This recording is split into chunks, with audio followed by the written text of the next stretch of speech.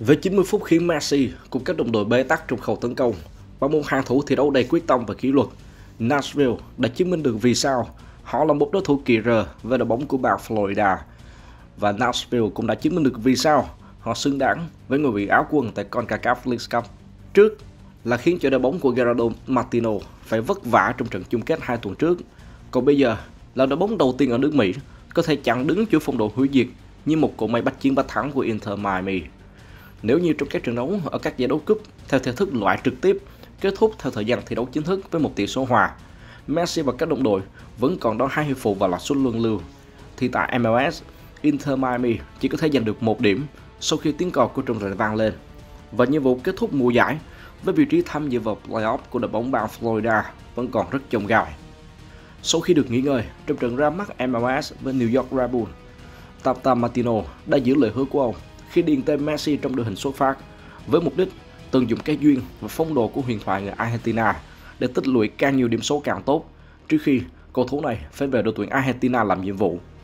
Thay vì 5-4-1 như trong trận gặp New York Red Bull, huấn luyện viên người Argentina quyết tâm cho Inter Miami chơi tất tay với một mục tiêu duy nhất đó là giành trọn vẹn 3 điểm trong trận ra mắt tại MLS của Messi trên sân nhà. Ông đưa sơ đồ 43 quen thuộc trở lại với những người đồng đội đã sát cánh với Messi trong vòng một tháng trở lại đây. Joseph Martinez và Robert Taylor hợp cùng với Messi ở cánh phải để tạo nên mũi đinh ba trên hàng công. Hai tiền vệ là Busquets, Arroyo và Gomez. Còn lớp phòng ngự 4 người vẫn là Jetlin, Avilas, Milner và Alba. Nhìn chung đây là một đội hình khá đồng đều và mạnh mẽ, nhưng chưa phải tốt nhất khi mà những cầu thủ đã gây được tiếng vang trong thời gian gần đây như tài năng trẻ Benjamin Kremaski và chiếc đầu vàng Leonardo Campagna không được điền tên ngay từ đầu.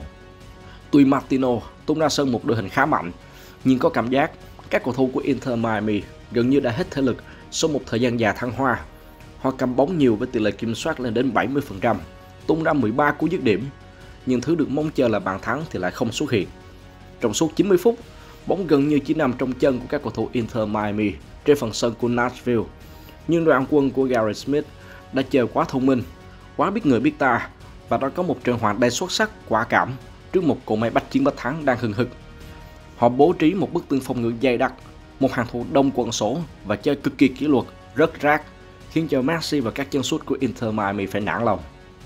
Trong hiệp đấu thứ nhất, Messi vẫn di chuyển miệt mài, hoạt động ở phạm vi rộng, chủ động lùi sâu nhận bóng và đột phá, cũng như tạo cơ hội Bất kỳ khung hình nào liên tới Messi, chúng ta đều có thể thấy 3 đến 4 chiếc áo đen vây quanh. Nhưng Messi vẫn cho thấy đẳng cấp của riêng anh, cho thấy vì sao anh là cầu thủ xuất sắc nhất thế giới thời điểm hiện tại. Đáng chú ý nhất là hai tình huống bóng liên tiếp ở phút 26 và 27 và một tình huống vào cuối hiệp 1. Đầu tiên là pha bóng Busquets đã phán đoán và các bóng chuẩn xác ở khu vực giữa sân rồi truyền thật nhanh cho Messi. Messi đã xoay sở khá tốt nhưng không nhận được sự hỗ trợ từ các đồng đội. Để rồi, đơn độc dứt điểm và bị cản phá. Sau đó một phút, những người đồng đội của Messi lại khiến cho anh thất vọng. Lần này là Jordi Alba. Cầu thủ người Argentina đã có một pha chồng biên quen thuộc cho Alba bên cánh trái và tạo cơ hội cho anh xâm nhập vòng cấm đối mặt với thủ thành của Nashville. Nhưng hậu vệ người Tây Ban Nha lại quá chần chừ, thiếu quyết đoán và để cơ hội trôi đi. Cuối hiệp 1, Messi có một pha thả bóng chuẩn xác cho Robert Taylor. Nhưng tiền đạo này đã đỡ bước một trong tư thế không thực sự thuận lợi, để rồi dứt điểm ra ngoài trong sự nuối tiếc cầm nhiều bóng, tấn công nhiều.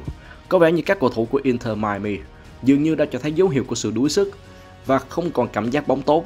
Thậm chí là Messi cũng bắt đầu có những pha xử lý lỗi và chuyền bóng hỏng trong hiệp thi đấu thứ hai.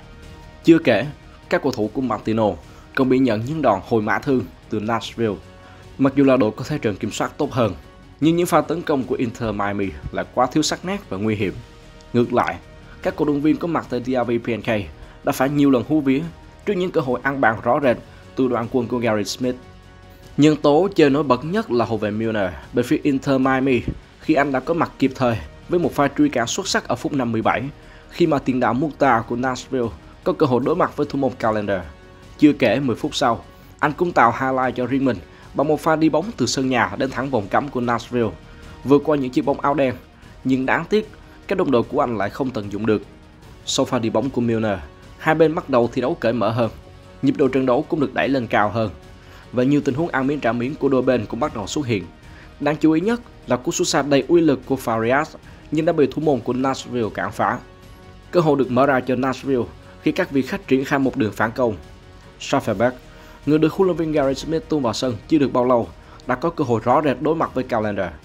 Nhưng hậu vệ Jacqueline đã lui về kịp thời, gây áp lực và cú sút của anh cũng bị Calendar cản phá.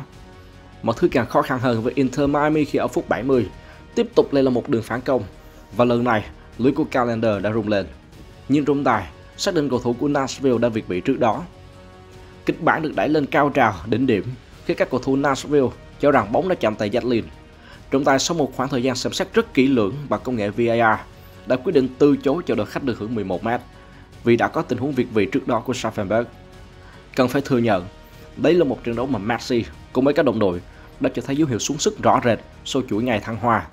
Bản thân Messi cũng chơi rất nỗ lực, nhưng thật sự anh đã có một ngày thi đấu với cảm giác bóng không tốt. Đây không phải là một phiên bản tốt nhất của Messi, đặc biệt trong những tình huống xuất phạt hàng rào. Messi cũng không thể tái hiện lại đôi chân ma thuật mà anh đã từng làm trong các trận đấu trước. Trước đó, Cristiano Ronaldo đã rất nổi bật với một cú đúp bàn thắng và một kiến tạo, thậm chí còn nhiều penalty cho đồng đội của mình. Thì Messi ở bên kia bán cầu lại không thể đáp lại. Như vậy là tuần trăng mật ngọt ngào của Gerardo Martino đã kết thúc sau hơn một tháng tung hoành trên đất Mỹ. Có thể nhiều người vì được xem Messi thi đấu quá mãn nhãn và tạo ra nhiều ma thuật với đội bóng bàn Florida, nhưng họ dường như đã bỏ qua một vấn đề đã được tồn động và dự báo. Đó là Inter Miami có vẻ như ngày càng bị triệu chứng Messi dementia. Một lần nữa, nó quay trở lại ám ảnh Martino. Khi Messi thăng hoa, các đồng đội của anh cũng thăng hoa theo. Nhưng trong một ngày mà Messi không đạt được ngưỡng tốt nhất, các đồng đội của anh cũng hiện nguyên hình, trở về hình ảnh của một đội bóng đang phải đua playoff.